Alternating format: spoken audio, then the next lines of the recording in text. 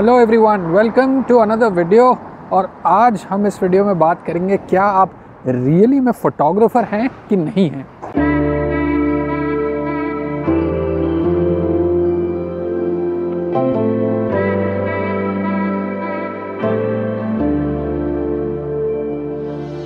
सो so, इस वक्त मैं जा रहा हूँ हीरो स्क्वायर बूडापेस्ट का आप ये कह सकते हैं बहुत ही प्रोमिनेंट लैंडमार्क है। One of the most popular tourist destination वैसे तो बूडापेस्ट में जितने भी बड़े लैंडमार्क्स हैं, वो सारे ही पॉपुलर हैं। बट ये भी उनमें से एक है मतलब जब भी आप कोई साइट सीइंग प्लान बनाते हैं बूडापेस्ट का या किसी टूर ऑपरेटर को देते हैं प्लान बनाने का तो ये स्पॉट ज़रूर उसमें होगा ही होगा। ना ये वीडियो बनाने का एक रीज़न ये है कि मैंने अपने करियर के स्टार्टिंग में एज अ फोटोग्राफ़र बहुत देर में समझा कि जो कुछ भी मैं कर रहा था, वो फोटोग्राफी तो होता ही नहीं है। तो मैंने सोचा कई लोग जो उस मिथ में जी रहे हैं कि वो फोटोग्राफी कर रहे हैं क्यों ना इस वीडियो के ज़रिए एक सेकेंड रोड क्रॉस क्रॉस कर लूँ? हाँ क्यों ना इस वीडियो के ज़रिए उनके कुछ मिथ क्लियर किए जाएँ और कुछ आप लोगों को हीरो स्क्वायर के आसपास का एरिया और हीरो स्क्वायर भी कुछ ग्लिम्सेस आपको दिखाई जाएँ। सो गाइज़ हम हीरो स्क्वायर तो पहुँच चुके हैं मैं आपको दिखाता हूँ कैमरा फ्लिप करके। ये जो आप पूरा सेटअप देख रहे हैं ये हीरो स्क्वायर के आगे बना हुआ है। कोई इवेंट चल रहा है मेरे ख्याल से। इवेंट का अगर ये बड़े बड़े स्क्रीन्स लगे हैं पीछे स्टेज है मुझे बीच बीच में जो एंकर है उसकी आवाज़ भी आ रही है काफ़ी लाउड स्पीकर वगैरह आप लोगों को आवाज़ आ रही होगी। तो जो स्क्रीन पे लोगो लगा है उसको देख के लग रहा है कोई साइकिलिंग रिलेटेड इवेंट है क्योंकि लोगो काफ़ी कुछ स्पोर्ट्स साइकिल को रिजेंबल करता है। तो देखते हैं अगर बहुत ज़्यादा लाउड होगा तो आपको कुछ ग्लिम्सेस दिखा के मैं कहीं और जाके बात करूँगा।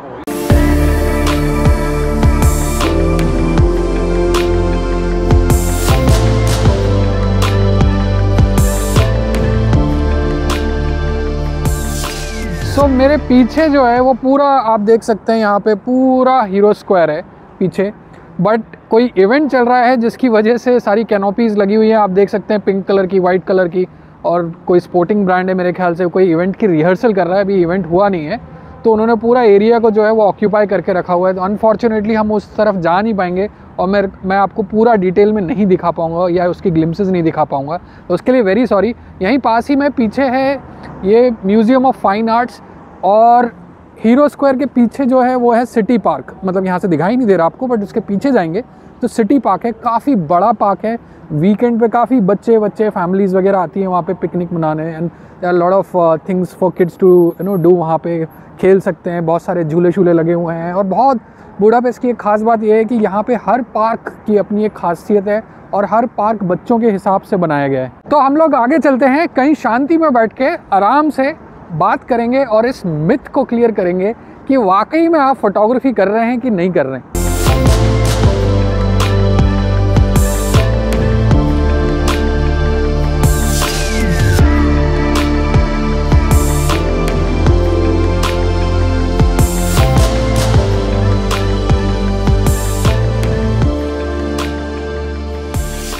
तो मैं यहाँ ब्यूटीफुल शांत सेंट्रल पार्क में पहुँच चुका हूँ और अब हम बात करते हैं मुद्दे की, जिसके ऊपर ऑब्वियसली हीरो स्क्वायर देखने के लिए तो आपने ये वीडियो पे क्लिक नहीं किया है। तो मुद्दे की बात करते हैं कि क्या आप सच में फ़ोटोग्राफी करते हैं या सच में आप अपने आप को फ़ोटोग्राफ़र कहलाते हैं? ना इसका सीधा जवाब देने से पहले मैं कुछ आपसे शेयर करना चाहूँगा, एक कन्फेशन करना चाहूँगा। अपने करियर के स्टार्टिंग में थोड़ा पेशेंस चाहिए सुनने के लिए बट अपने करियर के स्टार्टिंग में मैंने अपने एक रिलेटिव के पास डीएसएलआर देखा और उस टाइम पे शायद उनके पास सत्तर तीन सौ या सत्तर दो सौ टैमरॉन का लेंस होगा। आई डोंट क्लियरली कोई तो अट्ठाईस तीन सौ लेंस था टैमरॉन का यस तो उन्होंने आ, कुछ पोर्ट्रेट शॉट लिए मेरे मेरे भाई के और कुछ फैमिली मेंबर्स के और मैंने देखा बैकग्राउंड बिल्कुल defocus for the first time मैंने देखा क्या बैकग्राउंड आया यार मतलब ज़बरदस्त। फिर धीरे धीरे धीरे धीरे कभी कभी अपना कैमरा मुझे यूज़ करने को दे देते थे जब भी मैं उनके घर जाता था। तो मुझे वो कैमरे से प्यार हो गया। मतलब क्या गैजेट था? मतलब जैसे हम लोगों को नए गैजेट्स देख के स्पेशली बॉयज़ को वो टेम्पटेशन हो जाती है कि यार ये गैजेट तो होता ही है, होना ही चाहिए। वैसे ही मुझे भी उस कैमरे से प्यार हो गया। मैंने बोला, यार, ये चीज़ तो किसी भी हालत में कब चाहिए ही चाहिए। बट इवेंचुअली वो पॉसिबल हो पाया। उसके कुछ साल बाद जब मैं थोड़ा बहुत कमाने लग गया not from photography but from my full time job which was nowhere close to photography तो थोड़ा बहुत मैं कमाने लग गया और मैंने एक डी एस एल आर ख़रीदा। उन्होंने ही मेरी हेल्प करी थी डी एस एल आर ख़रीदवाने में उस टाइम पे। चांदनी चौक वगैरह से शायद कैनन का कुछ ट्वेंटी डी या सम समथिंग लाइक दैट कोई तो डी एस एल आर ख़रीदा अट्ठारह पचपन एम एम लेंस के साथ। एंड uh, थोड़े टाइम तक तो और थोड़ा टाइम नहीं इनफैक्ट काफ़ी महीने तक तो मुझे वो शैलो डेप्थ से ही प्यार रहा। शैलो डेप्थ शैलो डेप्थ हर शॉट में शैलो डेप्थ मुझे उससे इतना प्यार हो गया कि मेरे हर फोटोग्राफ शैलो डेप्थ वाले आते थे और वो होता है ना जब आप किसी फ्रेंड की वो बैकग्राउंड ब्लर डी फोकस्ड वाली पिक्चर ले लेते हैं और वो थोड़ा इंप्रेस हो जाता है तो आपको और खुशी मिलती है, और मोटिवेशन मिलता है और आप फिर वही फ़ोटोग्राफ्स लेने में लग जाते हैं। तो ऐसे ही कुछ मेरे साथ हो रहा था। बट फिर मुझे लगने लगा, यार, कहीं कुछ तो गड़बड़ है। जो मुझे डिज़ायर्ड रिज़ल्ट अब चाहिए, वो तो चलो मैं निकाल पा रहा हूँ बट बाकी लोग इस तरीके की फ़ोटोग्राफ्स कैसे निकाल पा रहे हैं? उनके पास भी डीएसएलआर है, उनके पास भी सेम टाइप्स ऑफ़ लेंसेज हैं।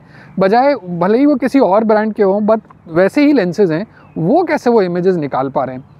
तो आप बिलीव नहीं करेंगे, मेरे डीएसएलआर मेरे हाथ में आने के ऑलमोस्ट एक डेढ़ साल बाद, और इनफैक्ट थोड़ा सा और टाइम बाद मुझे पता चला कि रॉ नाम की भी कोई चिड़िया होती है। इमेजिन करिए।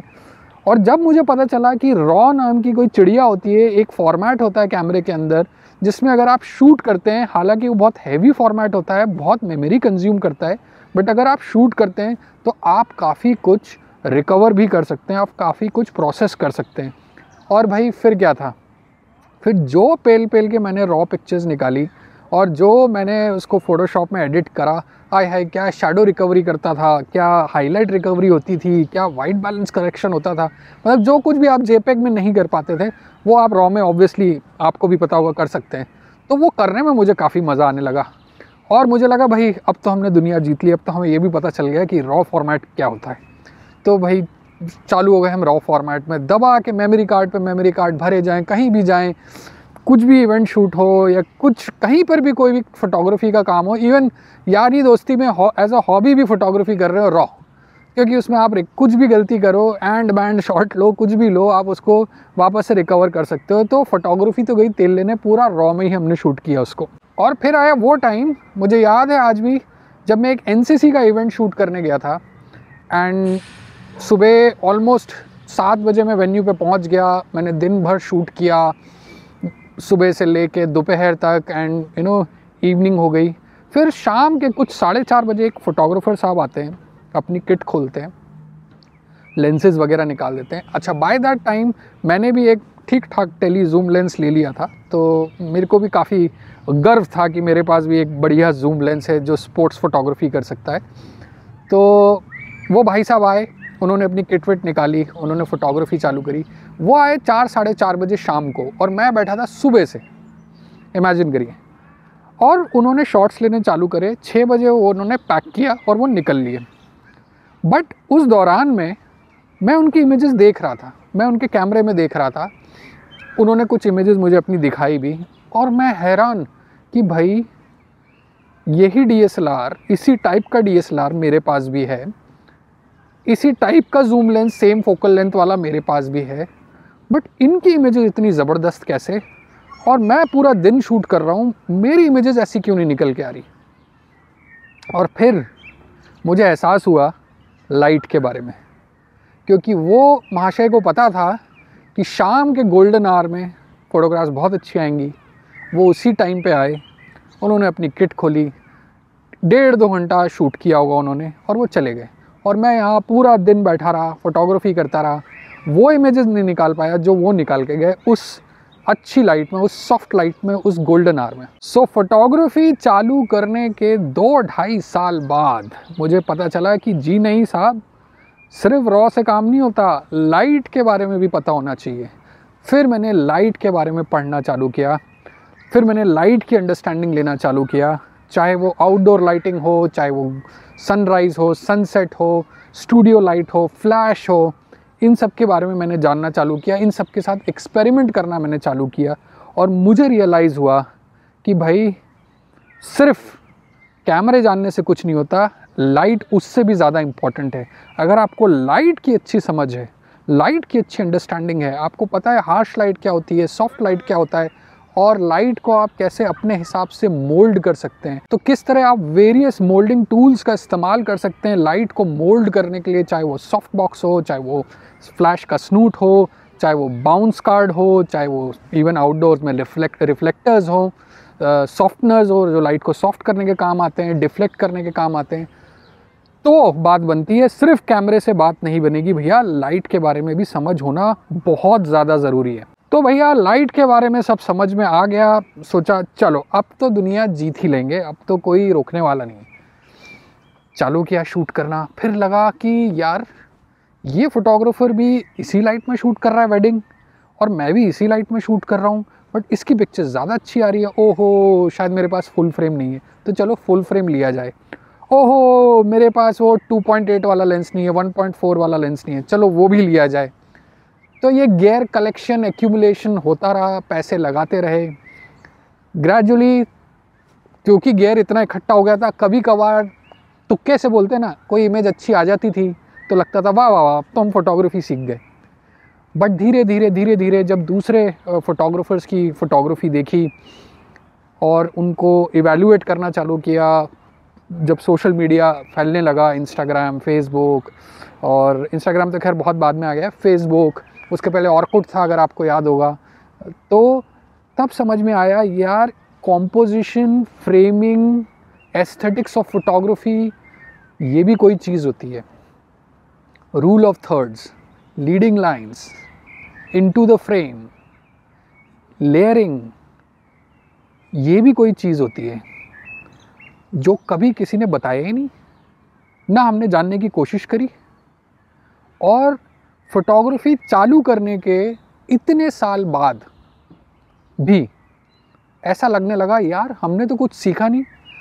हम तो एक कैमरा ऑपरेटर हैं यार। हम हम तो हमेशा इसी चीज़ में लगे लगे कि, लगे रहे कि एक कैमरा ख़रीदा है नया।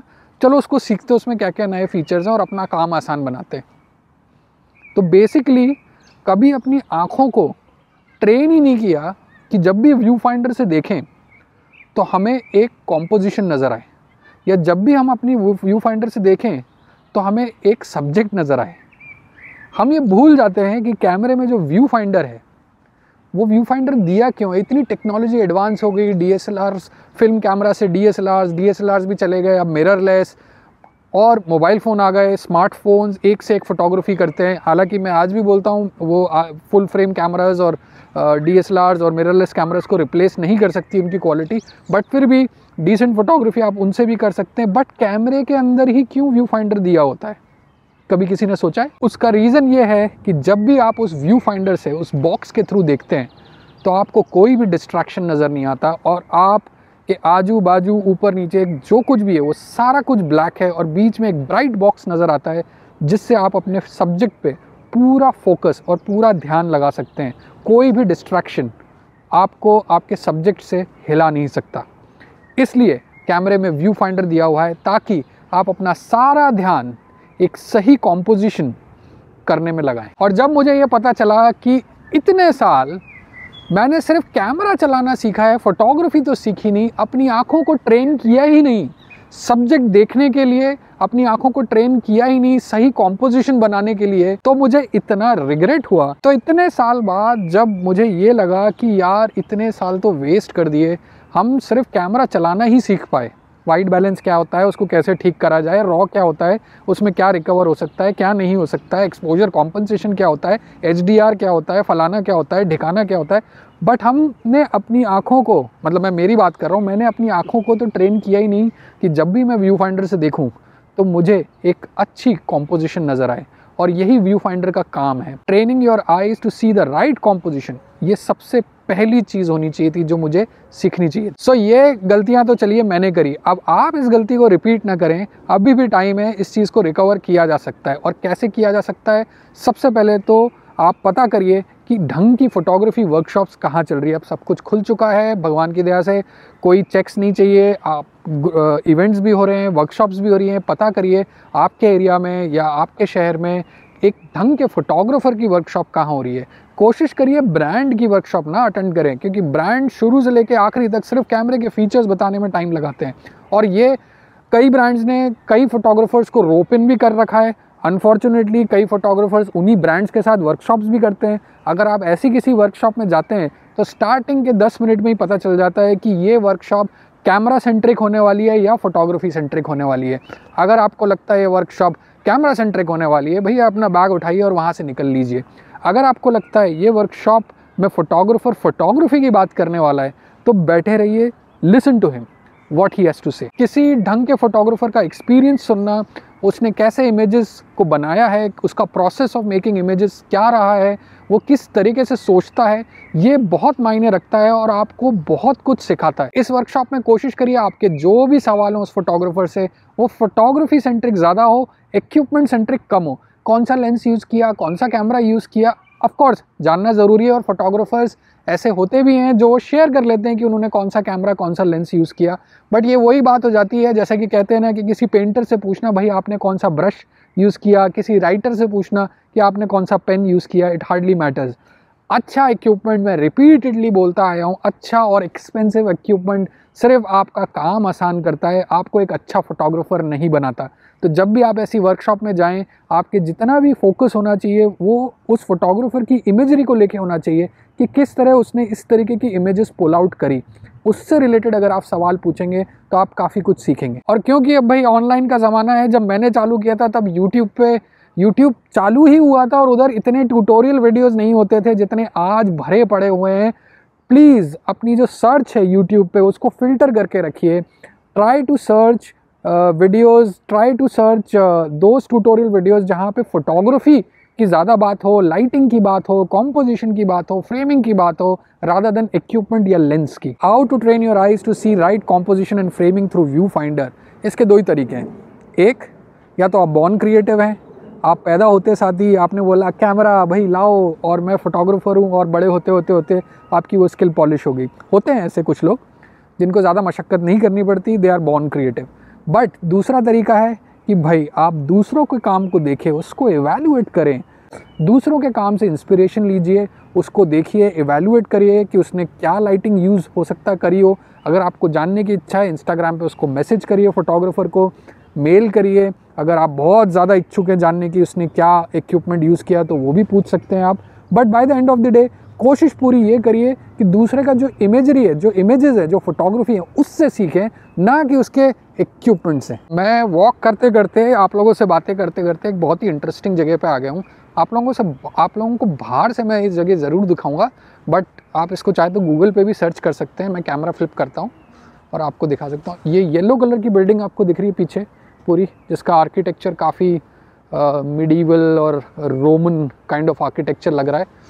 ये है बूडापेस्ट का सबसे फ़ेमस थर्मल बाथ तो यहाँ पे पूरे वर्ल्ड से लोग आते हैं थर्मल बाथ लेने। अंदर बहुत सारे बाथ और पूल्स बड़े बड़े बने हुए हैं। अगर आप बूडापेस्ट थर्मल बाथ सर्च कराएँगे तो ये इस कलर की बिल्डिंग का आपको एक फ्रंट व्यू मिलेगा। मैं पीछे साइड में हूँ और हो सकता है ड्रोन शॉट्स भी मिले, आपको काफ़ी अच्छे अच्छे तो अंदर काफ़ी सारे पूल हैं और लोग यहाँ पे थर्मल बाथ लेने आते हैं।